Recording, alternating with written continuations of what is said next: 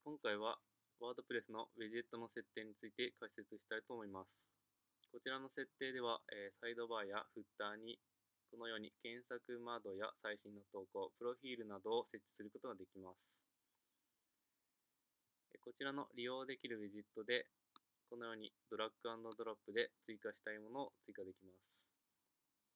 でよく使うのがこちらのテキスト、検索、最新の投稿になります。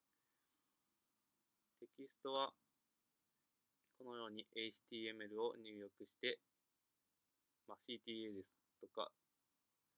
CTA などを設置することができます。入力しましたら必ず保存をしてください。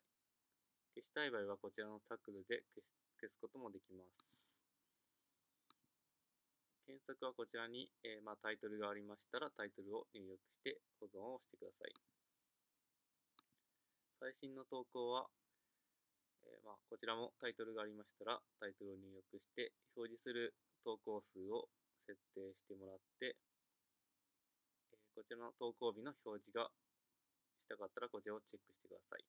でこちらも同様に保存を押してください。えーこちらの項目はテーマによって違うので確認しながら設定してみてください。今回は以上になります。